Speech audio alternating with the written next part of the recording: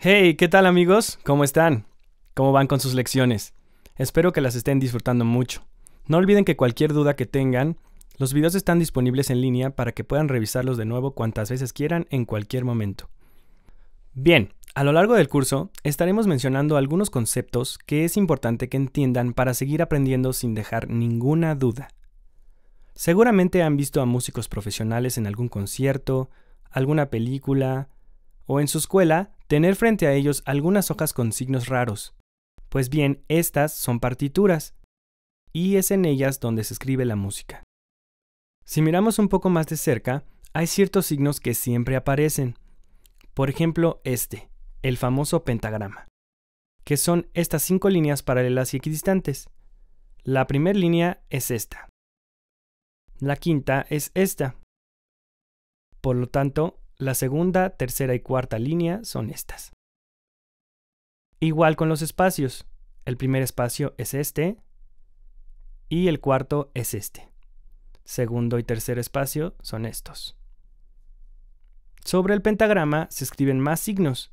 Sin duda reconocerán algunos. Ahora comenzaré por explicar estos. Las bolitas y palitos que se ven aquí son los signos utilizados para escribir las notas Do, re, mi, fa, sol, la y si. Seguro le sonarán familiares. El nombre de la nota se lo da la posición en el pentagrama, es decir, qué tan arriba o qué tan abajo. Y la clave que se use. En la guitarra siempre utilizamos la clave de sol, que es esta. La clave de sol ubica precisamente la nota sol en la segunda línea del pentagrama. Si ponemos otra nota en el segundo espacio, será la nota La. Si subimos a la siguiente línea, tendremos la nota Si.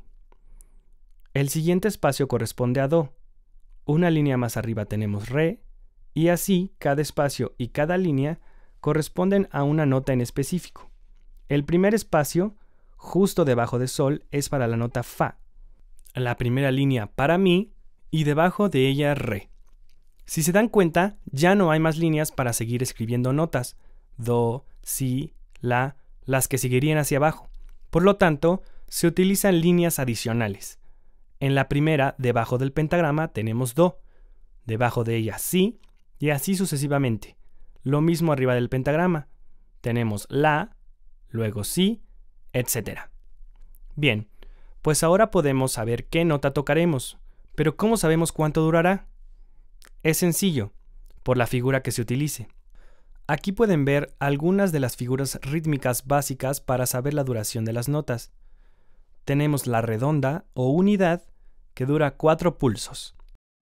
La blanca o mitad dura 2 pulsos, precisamente la mitad de la redonda. La negra o cuarto que dura un pulso, la mitad de la blanca, y el octavo o corchea que dura medio pulso justo la mitad de una negra o cuarto. Y a todo esto, ¿qué es el pulso? El pulso es cualquiera de las señales transitorias musicales periódicas que marcan el ritmo. ¿Qué dijo? ¿Qué habrá querido decir? ¿Alguna vez han escuchado una canción y los ha hecho mover la cabeza o golpear el piso con su pie? Bien, pues esos golpes o movimientos son el pulso. Es el latido de la música.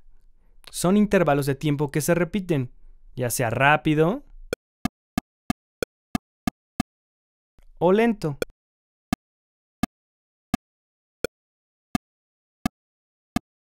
Entonces, si tenemos este pulso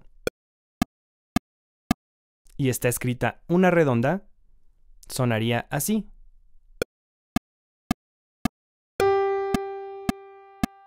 Cuatro tiempos, ¿recuerdas?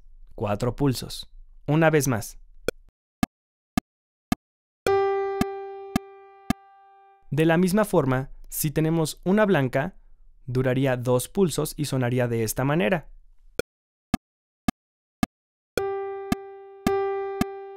De nuevo.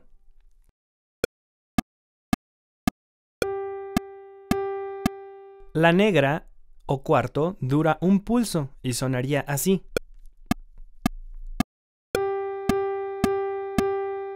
Otra vez.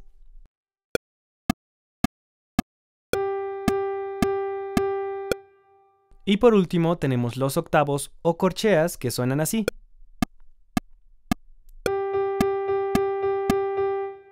De nuevo.